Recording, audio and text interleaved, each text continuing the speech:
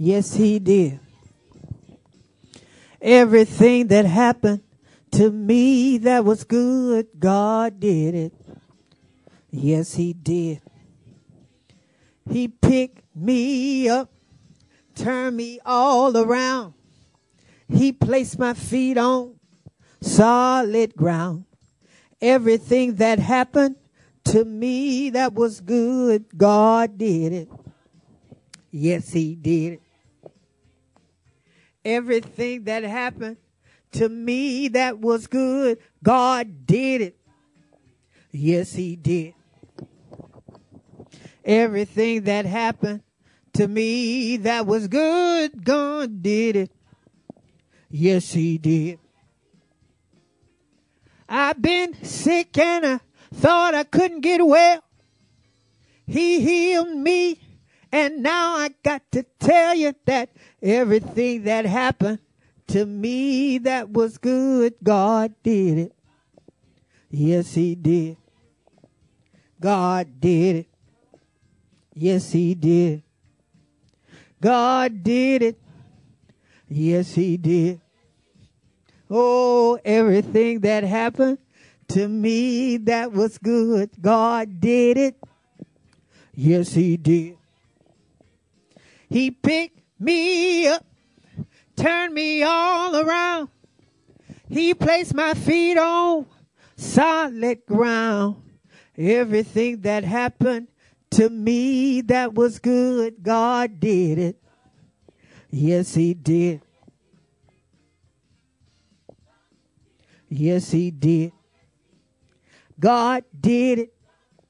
Yes, He did it. God did it. Yes, He did it. God did it. Yes, He did it. He made a way. Yes, He did. He picked me up. Yes, He did. He turned me around. Yes, He did.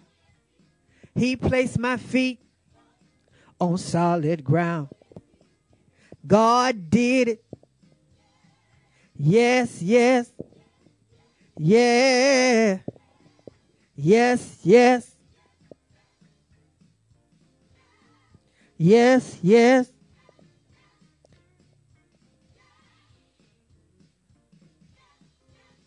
Who did it? Who did it? Who did it? Who did it? God did it. God did it.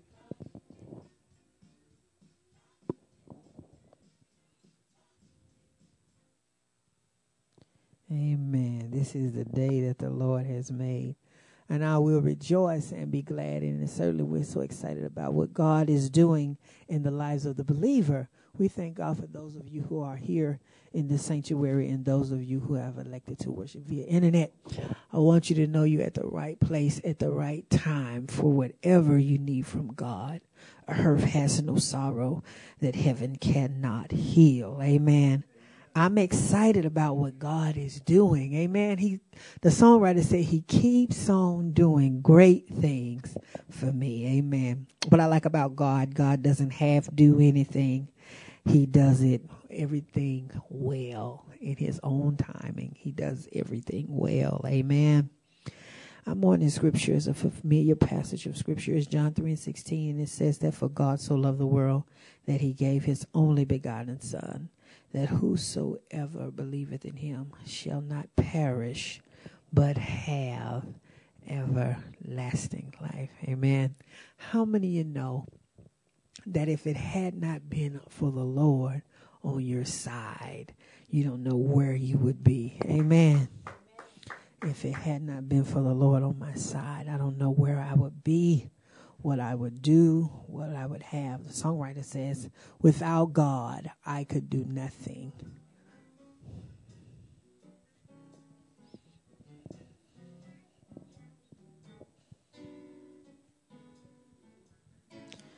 If it had not been for the Lord on my side, tell me where would I be?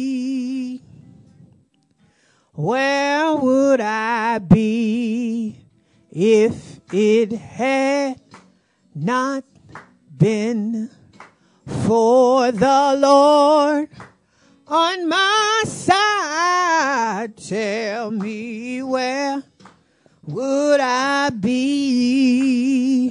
Where would what he do for us? He kept my enemies away. He kept my enemies away. Let the sun shine.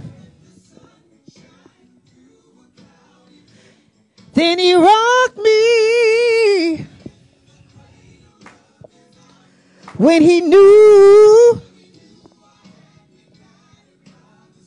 So if it had not been for the Lord on my side, tell me where would I be? Where would what he do? He kept my enemies away.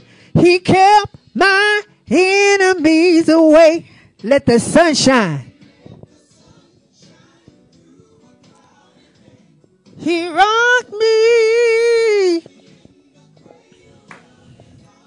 when he knew. Last time. So if it had not been for the Lord on my side, tell me where would I be? Where would I be? Hallelujah. Amen. Praise the Lord, everybody. If it had not been for the Lord on my side, where would I be? Amen. This morning I'll be coming from a very familiar passage of Scripture Psalms 121 reminds us that God neither slumbers nor sleeps.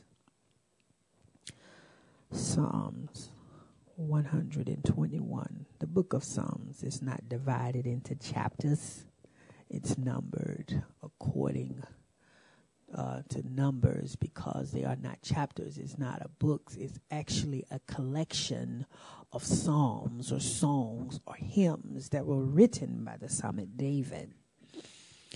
And Psalms 121 says like this I will lift up mine eyes to the hills from whence cometh my help.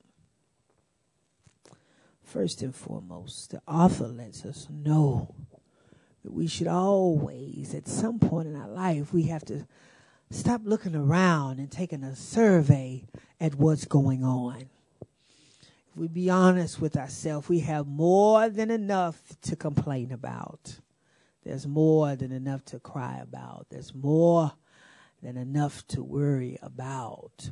But as a believer, we must look to the hills from which cometh our help. I believe the author was encouraging us to look at our problems from a different perspective. What happens when you look at something from a higher elevation, now whatever it is, it appears to be smaller. Amen. See, we face our adversities. We look at them face to face or head on. But when we realize there is a deity, a God, an almighty, an all knowing, an all powerful that's bigger, better, smarter, and wiser than we are, we must look to him for our strength. We must look to him for our help. He said he'll be a present help in the time of trouble. The Bible lets us know in the second verse it says that my help cometh from the Lord which made heaven and earth. When you realize who the creator is, he made heaven and he made earth. Genesis said, In the beginning, God created heaven and he created earth. God created everything. And if he created everything, he can fix everything. When I have problems with my car, you take it directly to the dealership for the best results, even though you can take it to the shade tree mechanic or you can take it to Sears or you can take it to Macy's or you can take it to Jiffy Lube or you can take it all these other types of places. Uh, but for best results, you need to take it uh, to its creator. See, the problem with so many of us is we take it to these other places to save a few dimes, to save a few dollars. Uh, but in the end, we wind up with more trouble we wind up with more problems. Uh, and sometimes uh, it becomes or it gets to be more expensive than it would have been if you would have took it to the dealer in the beginning. It's the same with our problems. We take our problems to our families and we take our problems to our friends and we take our problems to the co-workers and the neighbors and we take survey to see what other people think we ought to do. But as a matter of fact, the people that we're seeking answers and wisdom and guidance from, sometimes you'll be in a place where you're experiencing something that they have never experienced before. You'll be in a place where God is using you in a way or trying to get something out of you that uh, they've never experienced before, they've never dealt with before, they've never had to pray about it before. But if you take it to your creator, the one who made heaven and earth, he's more than qualified to handle all of your problems. He will not suffer thy foot to move, he that keepeth thee will not slumber. In other God, words, our God doesn't take a rest. He doesn't get weary. He doesn't get tired. Although I would like to go 24 7, 365, the flesh that I'm wrapped in will cause me to get weak. Y'all not going to talk to me this morning. The flesh will cause you to get weary. But a God, the all knowing God, He never sleeps and He never slumbers. The reason why he never sleeps and never slumbers, I believe, is because he's always watching after you. I remember as a little boy they used to sing the song all night and all day. The angels are watching over me. God, uh, he never sleeps and he never slumbers. He says, Behold, he that keepeth Israel neither sleeps nor slumbers. Behold, he that keepeth Israel neither sleeps nor slumbers. The Lord is thy keeper. The Lord is thy shade upon thy right hand. I, I, like the other psalm where David writes, he says it like this. He says, a thousand shall fall to thy left side and a ten thousand to the right side, but it will not come nigh thy dwelling. Sometimes people all around you may be experiencing some type of a turmoil or some type of a tragedy or some type of a devastation. Uh, but when you are really rooted and grounded in God and you stand on the firm foundation uh, that Jesus Christ said in the New Testament, upon this rock I will build my church and the very gates of hell will not prevail against when you stand on that rock, when you trust in that God, when you believe in that creator, no matter what's going on around you, you will find a strength from somewhere that you never knew you really had sometimes what I've learned about adversity is adversity comes to show you how strong you are. Sometimes you don't realize the strength that you have in you. Come on, somebody here. Let your car break down on 285. You never know. You never realize that you can put it in neutral and push it at the same. Y'all not gonna. Adversity, sometimes it brings out the best in us. Adversity shows us the strength that God has endowed us with, that Holy Ghost power that God has given us. It does more. My Holy Ghost is designed to do more than cause me to run up and down the aisles and speak in tongues. The Holy Ghost, it'll keep you. He says, Thy sun shall not smite thee by day, nor the moon by night. The Lord shall preserve thee from all evil. He shall even preserve your soul. No matter what is going on, look to the hill. No matter how hard it gets, look to the hills. No matter how difficult it gets, look to the hills. Y'all not going to help me here. Look to the hills from which cometh your help. No matter how tired and frustrated you are, sometimes you got to look to the hills. The songwriter says like this, when I fall on my knees with my face to the rising sun, Oh Lord, have mercy on me. He said he will not allow the sun to smote you by day. In other words, the heat from the sun won't even destroy you.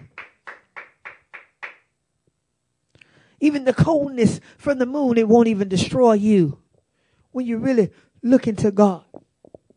I wonder what happened if we began to look to God in every area, in every aspect of our life.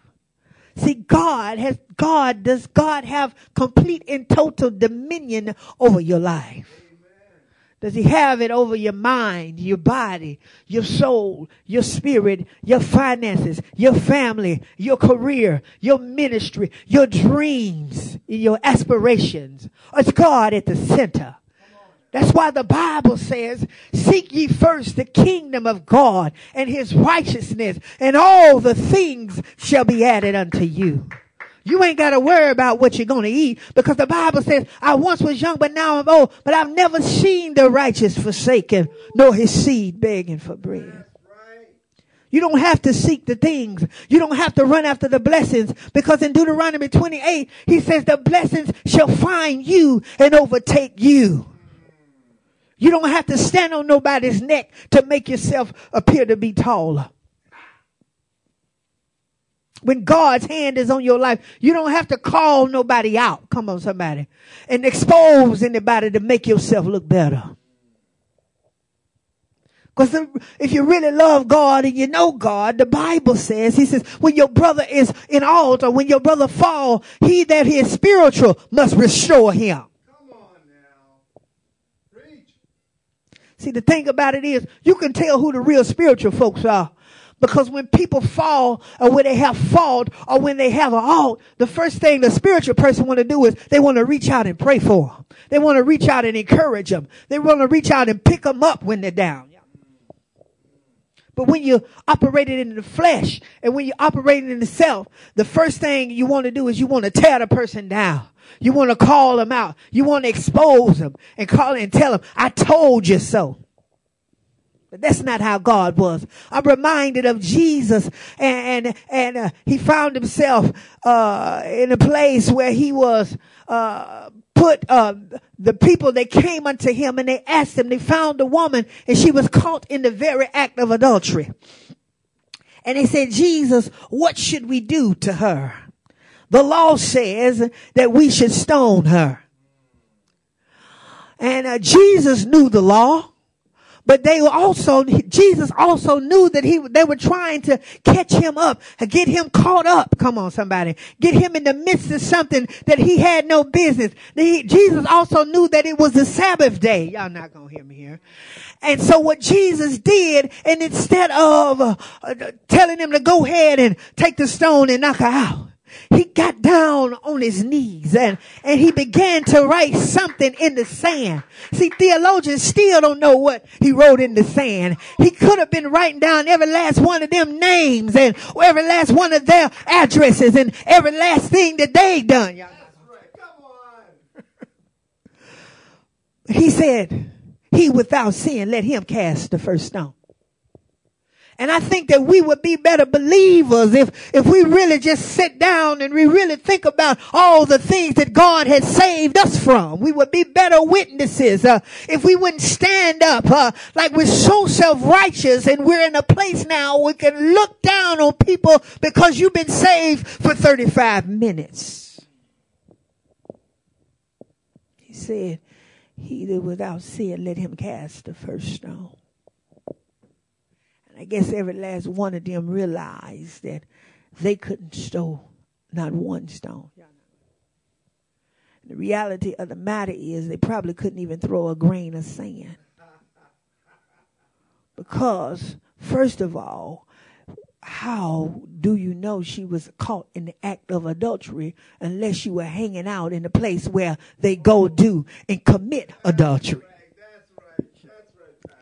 How in the world do you know what's going on in the world unless you're partaking in the world? So, we as believers, we've got to know and understand that the Lord will preserve thee from all evil. See, the problem is we are so busy trying to get folks back and prove folks wrong and prove ourselves and show how anointed we are and show how powerful we are and show how the hand of God is on our life and we use God's word to intimidate people and make people think that they are inferior. We've got to get to a place where we don't have to prove ourselves to no one. All we have to do is look to the hill. I don't have to explain myself to anyone. All I have to do is look to the hill. I don't have to hear answer anyone's questions. All I have to do is look to the hill.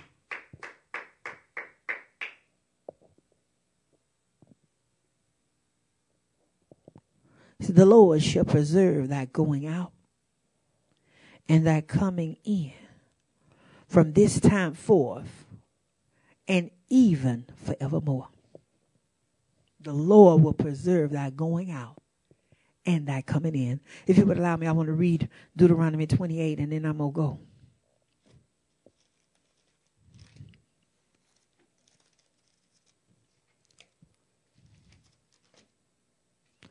Deuteronomy 28 says that God will bless Israel. He says, and it shall come to pass if thou shalt hearken diligently unto the voice of the Lord thy God, and observe all his commandments, which I command thee this day, that the Lord thy God shall set thee high above all the nations of the earth. See, a lot of us, we want to be set up high above all the nations of the earth. But before you can be set up, there are some rules, some regulations, and some requirements. He says, and all these blessings shall come upon thou if thou hearken to the voice of the Lord thy God. He says in the third verse, he says, blessed shalt thou be in the city and blessed shalt thou be in the fields. Blessed shall be the fruits of thy body and the fruits of thy ground and the fruits of thy cattle and the increase of thy kin and the flock of thy sheep. Blessed shalt thy baskets and thy store.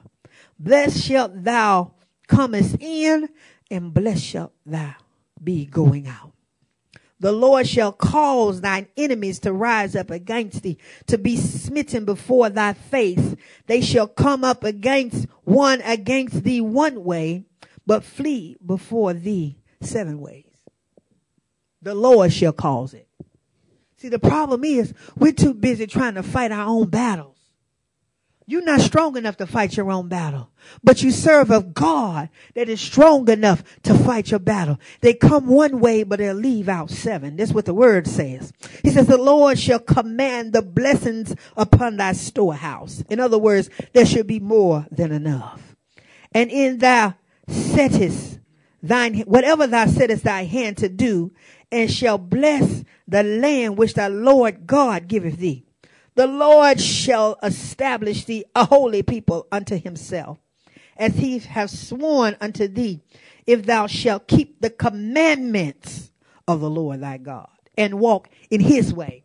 See, we want the blessings, but we got to learn how to walk in his way and do things his way, not our way.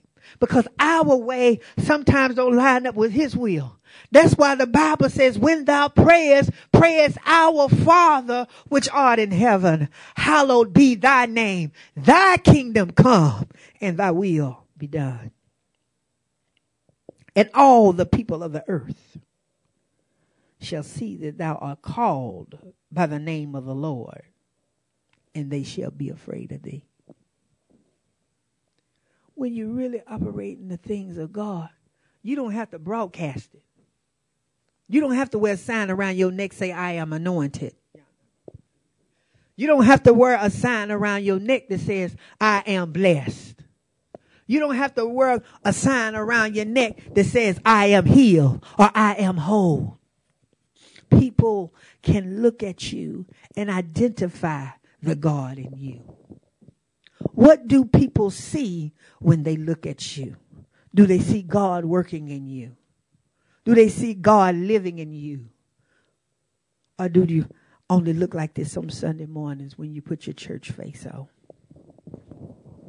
When you put your church outfit on? It's unfortunate that the reason why sometimes people don't follow us to church is because we only look like church while we at church. We only talk about the goodness of God when we're amongst the believers. But the Bible instructs us to go ye into the highways and the hedges and compel men to come. How compelling is your story? Look to the hills from which cometh your help. I'm here to tell you, man, I fail you every time. A woman will let you down every time. The author said it like this.